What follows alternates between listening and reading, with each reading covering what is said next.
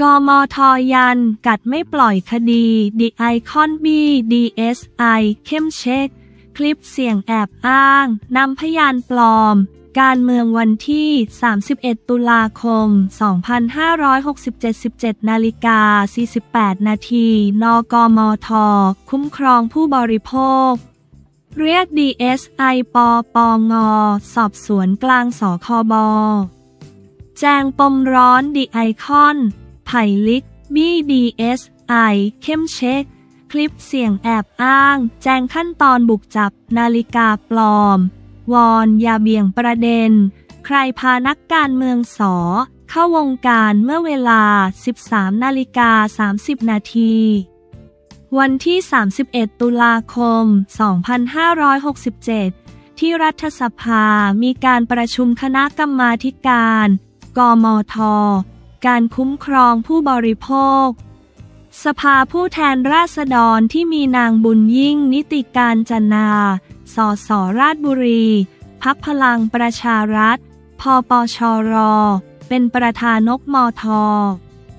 วาระติดตามความคืบหน้าเกี่ยวกับสภาพปัญหา และมาตรการคุ้มครองผู้บริโภค จากการประกอบธุรกิจตลาดแบบตรง โดยเฉพาะกรณีบริษัทดิไอคอนกรุ๊ปมีการเชิญตัวแทนหน่วยงานที่เกี่ยวข้องกับคดีดิไอคอนกรุ๊ปเข้าชี้แจงอาทิ สำนักงานคณะกรรมการคุ้มครองผู้บริโภค สคบ กรมสอบสวนคดีพิเศษ DSI กองบังคับการปราบปรามการกระทำความผิดเกี่ยวกับการคุ้มครองผู้บริโภค บกปคบ กองบัญชาการตำรวจสอบสวนกลาง CIB สำนักงานตำรวจแห่งชาติ ตร สำนักงานคณะกรรมการป้องกัน และปราบปรามการฟอกเงิน ปปง เป็นต้น ต่อมาเวลา 15 นาฬิกา 20 นาที นางบุญยิ่งให้สัมภาษณ์ภายหลังการประชุมว่า คดีดิไอคอนได้เข้าไปอยู่ในความรับผิดชอบของ DSI แล้ว แต่วันนี้ได้รับการยืนยันว่า เป็นการทำงานร่วมกันระหว่างตำรวจ DSI และปปงโดยตัวแทนทุกฝ่ายกำลังสืบสวน สอบสวน เป็นไปได้ด้วยดี ไม่มีอะไรติดขัดเมื่อถามว่ามีการสอบถามถึงเทวดาใน สคบหรือไม่ นางบุญยิ่งกล่าวว่า เรื่องเทวดาในสคบยังประชุมไปไม่ถึง เพราะการหารือสงสัยว่าในคลิปมีการพาดพิงถึง DSI ว่า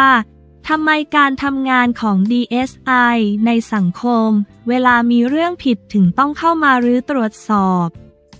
แต่ปัจจุบันมีคลิปออกมาพาดพิงถึง DSI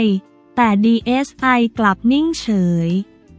ไม่ดำเนินการแก้ไขปัญหาที่ตัวเอง ถูกพาดพิงได้รับความเสียหาย โดย DSI ขอเวลาเร่งดำเนินการสอบสวนให้ชัดเจนกว่านี้ นางบุญยิ่งกล่าวต่อว่าวันนี้ตำรวจ ได้นำเส้นทางการเงินของนายสอ มาให้ดูว่ามีทรัพย์สินอย่างไรบ้าง มีเงินเข้าออกอย่างไร ซึ่งเอกสารยืนยันจากธนาคารต้องรอหลายวัน แต่ตัวแทนตำรวจ DSI และสอตองอรับปากว่าจะร่วมกันเร่งทำงานเพื่อให้สังคมคลายความกังวล ส่วนที่มีการเอาพยานปลอมเข้ามานั้น เรามองว่าเป็นการทำให้สังคม และตำรวจสับสน เรามองเห็นชัดแล้วว่า พาดพิงถึงใคร DSI ต้องดำเนินการตรงนั้นก่อน ขณะที่นายไผ่สอกำแพงเพชรพักพลังประชารัฐ ในฐานะผู้ร้องเรื่องคลิป นาฬิกาปลอม กล่าวว่าการอ้างอักษรย่อเป็นเรื่องเลอะเทอะ เมื่อถามว่ามีประเด็นใดที่น่าสงสัย หรือติดใจว่า DSI จะเข้าไปเกี่ยวข้องหรือไม่ นายไผ่กล่าวว่าได้เข้าไปซักถามผู้ที่มาชี้แจง เรื่องคลิปต่างๆ ที่มีการพาดพิงถึง DSI รวมถึงเรื่องที่ DSI บุกจับนาฬิกาปลอมของบอสดีไอคอนมีขั้นตอนการรับเรื่องอย่างไร เหตุใดผู้แจ้งเบาะแสถึงโทรหา DSI ซึ่งได้รับคำชี้แจงว่าผู้แจ้งบอกว่าเป็นของ Boss Off แต่ส่วนตัวมองว่าไม่น่าใช่ แต่ DSI ก็รับปากว่าจะทำเรื่องนี้ให้กระจ่าง เมื่อถามว่าที่ผ่านมา DSI เข้าไปเกี่ยวข้อง และเป็นคนทำคดีเอง DSI จะทำอย่างไรให้ประชาชนเชื่อมั่น เนื่องจากข่าวที่ออกมานายไผ่กล่าวว่าวันนี้เป็นข้อกฎหมายแล้วจำเป็นต้องทำ ถ้าไม่ทำก็จะโดนละเว้นการปฏิบัติหน้าที่ตามมาตรา 157 วันนี้เราฝากไปแล้วว่าในภาคของสสได้รับการกล่าวถึงด้วยกมทการคุ้มครองผู้บริโภค ทั้งชุดเก่าและชุดใหม่มีการเข้าไปเกี่ยวข้อง และมาเคลียร์กัน เราคุยกับหลายภาคส่วน แล้วเป็นการแอบอ้างแต่ยังไม่ฟันธง ดังนั้นกมทจะเกาะติดจับตา และขอร้องว่าคดีลักษณะนี้อย่าให้มีความเคลือบแคลงใจ เมื่อถามว่ามีการพูดคุยถึงหมายจับรอบสองหรือไม่ นายไผ่กล่าวว่าเราไม่ได้พูดคุยถึงเรื่องนั้น แต่ทางตำรวจบอกแล้วทั้งตำรวจและ DSI ยืนยันจะไม่สนหน้าอินหน้าพรม เรื่องไปถึงไหนเอาความผิดเต็มที่ ส่วนที่มีสวออกมาแสดงความเห็นว่า หากคดีเข้าไปอยู่ในความรับผิดชอบของ DSI จะทำให้คดีขาดอายุความก่อนที่จะดำเนินคดีนั้น ถือเป็นเรื่องละเอียดอ่อน แต่วันนี้เขายังไม่ได้ทำอะไรแต่จุดที่เราสงสัยคือทำไม ทางฝั่งผู้ต้องหาถึงพยายามก่อเรื่องในลักษณะ ให้มีการจับเรื่องนาฬิกา หรือโยนไปให้ DSI เป็นข้อที่เราติงไว้อยู่แล้ว แต่เราต้องให้โอกาสเขาก่อน วันนี้พูดคุยหลายอย่าง แต่จะให้ออกมาเปิดเผยคงไม่เหมาะสม อาจเป็นการชี้นำเชื่อว่า หลังจากนี้จะมีความชัดเจนขึ้น เมื่อถามว่ากมท วางกรอบการทำงานที่ยังเป็นประเด็นสงสัย และจะสรุปอย่างไร นายไผ่กล่าวว่า ต้องดูหลังจากนี้ว่า สิ่งที่เราดำเนินการไปมีการขยับแบบใดที่จะทำให้หายสงสัย และแก้ปัญหาให้ประชาชนได้รับความเป็นธรรม แต่เรื่องคดีไม่สามารถทำให้เร็วได้ เพราะต้องเข้าสู่กระบวนการศาล เมื่อถามว่าการประชุมกมทสัปดาห์หน้าจะเชิญหน่วยงานใดมาชี้เพิ่มเติม นายไผ่กล่าวว่าต้องรอดู หากมีข้อสงสัยเพิ่มเติมตนก็จะร้องอีก เพื่อให้มีการเรียกหน่วยงานที่เกี่ยวข้องเข้ามาชี้แจงอีก เมื่อถามว่ามีการวิจารณ์ว่า นายวรัตพล วรัตวรกุล หรือบอสพอล อาจจะรอดคดีนายไผ่กล่าวว่า จะมองอย่างนั้นก็ไม่ถูก เพราะเราไม่สามารถไปตัดสินอย่างนั้นได้ แต่กมทถูกแอบอ้างจากบุคคลคนหนึ่ง ซึ่งตนเป็นหนึ่งในกมทการคุ้มครองผู้บริโภค ชุดเก่าและนางบุญยิ่งในฐานะประธานกมทชุดใหม่รวมถึงสภาได้รับความเสียหายจากคลิปบุคคลสอ ตรงนี้เราเจาะไปหลายเรื่อง นอกจากนี้ยังพูดถึงมุมความผิดอีกหลายเรื่อง อะไรที่เราที่เห็นเราได้ฝากหน่วยงานที่เกี่ยวข้องที่เชิญมาไปหมดแล้ว เราจะเกาะติดเรื่องนี้เพื่อทำให้เป็นรูปธรรม เพื่อให้ประชาชนเกิดความสบายใจ โดยเฉพาะ ปปงเราได้ฝากข้อมูลไปว่า มีทรัพย์สินตรงไหนที่ควรไปตาม คนนั้นเรียกรับอย่างนี้ คนนี้ทำอย่างนั้น ไม่ต้องห่วงกมท ชุดนี้ทำเต็มที่ เมื่อถามว่าล่าสุดมีการพบข้อมูลว่า มีการโอนเงินไปให้แม่ของนักการเมืองสอจำนวน 2.5 ล้านบาท นายไผ่กล่าวว่า เรื่องนี้ก็พูดคุยกันวันนี้ เราตามทั้งเส้นทางการเงิน และทรัพย์สินที่ไม่ใช่เส้นทางการเงินทั้งหมด โดยนางบุญยิ่ง ได้กำชับหน่วยงานที่เกี่ยวข้องให้ตรวจสอบทั้งหมด ทั้งคนในครอบครัว ทั้งที่มีและไม่มีเส้นทางการเงินพักพลังประชารัฐที่เป็นตัวแทนมาหนึ่งคนก็ยืนยันกับ กมทว่าจะไม่มีการอุ้ม เช่นเดียวกับพักเพื่อไทยที่มีคลิปใหม่ๆ และโยนกันไปมาไม่เกิดผลดีกับฝ่ายใดหลังจากนี้ เราจะทำความจริงให้ปรากฏ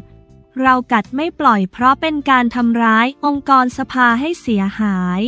ขณะที่ DSI ก็รับปากในสิ่งที่เราติดติง โดยจะเคลียร์และชี้แจงกับสื่อ จึงขอให้รอดูไปก่อน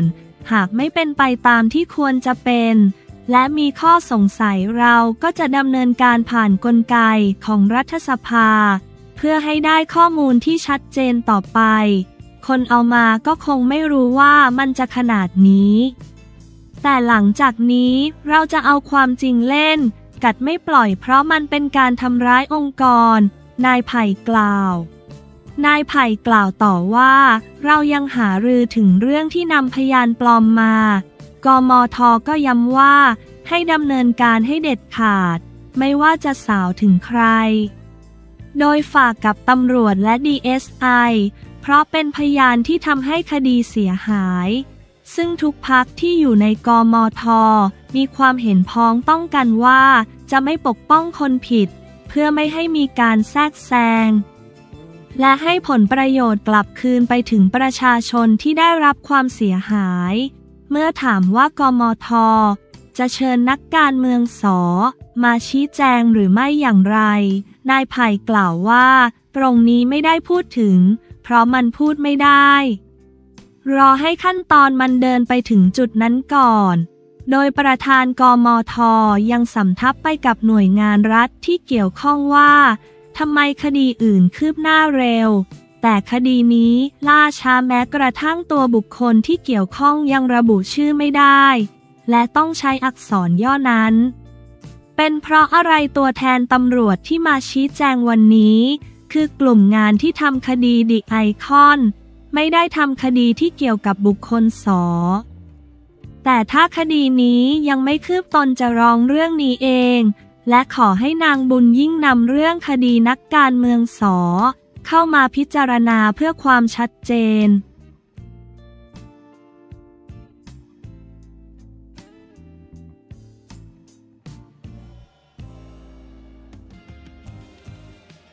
อภิชิต อาศัยชั้นเชิงทุบยูเครน ทะลุชิงทองมวยยูลบ19 ชิงแชมป์โลก กีฬาวันที่ 31 ตุลาคม 2567 14นาฬิกา 56 นาที ความเคลื่อนไหวมวยสากลเยาวชนทีมชาติไทย ชุด